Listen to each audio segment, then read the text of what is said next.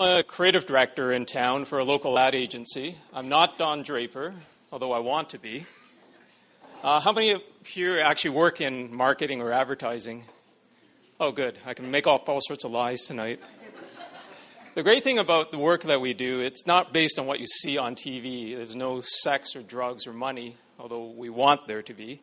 Uh, but it's really based on a lot of awards and accolades that you can win by creating great campaigns.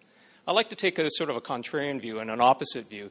So in my office is a garbage can, and it's full of uh, some of the awards I've won over the years.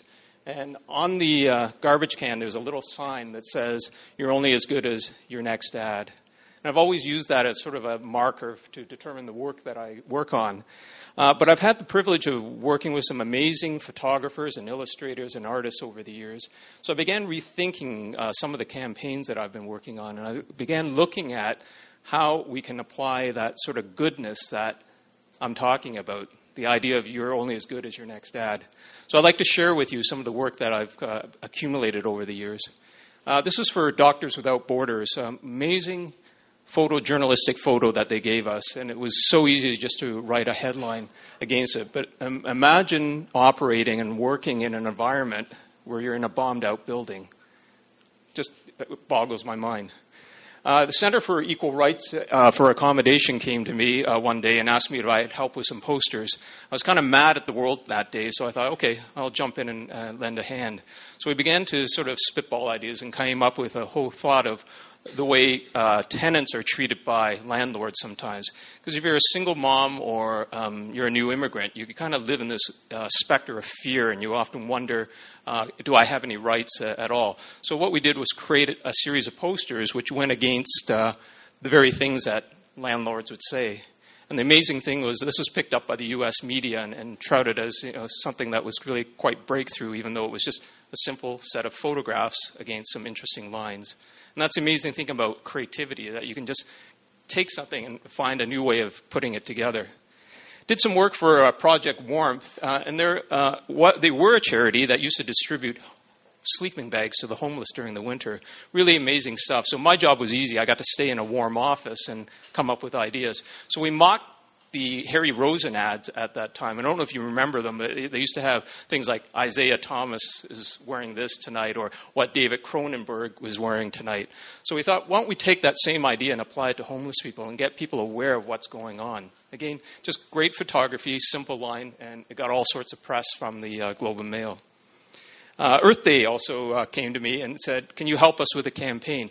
Most of us recycle, most of us kind of cut back on the amount that we consume but if you think about it, if you redeploy things, if you reuse something, it'll actually take it away from the landfill. It won't end up in the landfill. So we came up with this campaign and kind of glammed it up with some interesting photography and art direction. And we thought, well, wouldn't it be great if we could get people to think along this way? And the, the inspiration for it really came from an old Carol Burnett series that I used to watch during uh, rerun days. And the uh, great thing about it is that, again, it's a very simple idea. I don't think you can kind of see this in the slide, but what you see is an outline of a boy against black. And the headline reads, What do you see first, the color or the kid? And it's really an outline. And, and the whole idea behind it was just simply taking a photograph and reversing it and getting people to think about their own racial prejudice. It wasn't even a, a black child, it was someone who uh, was Caucasian when we reversed the image. Uh, when you meet someone, typically they ask you, What's your background? And you go, Well, I'm half Italian, half Chinese, you know, quarter Polish. And there's something really interesting in celebrating that mix of uh, different nationalities. So we created this poster to help celebrate that mix of Canadians that we are. Because when you're Canadian, you're not just simply a Canadian, but you come from other roots. So I have a running theme of nudity through some of my work. Toronto Star came to me and asked me, you know, how would you go about marketing poverty? So I got, grabbed two naked guys, put them side by side, and came up with this idea because the only difference between them is how we view them. And that was really inspired by my days when I used to play squash with a lot of really rich people, and, and they were naked, and it was very equalized at that point when they have no clothes.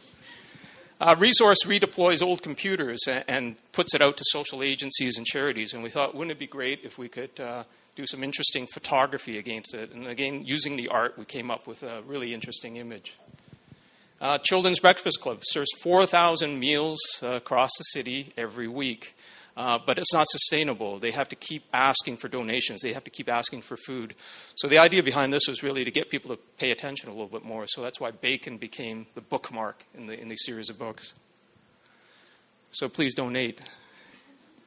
Mental illness, uh, another campaign that I've had the chance to work on. And the amazing thing about it is it's sort of the last stigma that we're suffering or we're up against because we don't really think of it as a social disease, but it, a lot of our stresses and anxiety happen in the workplace.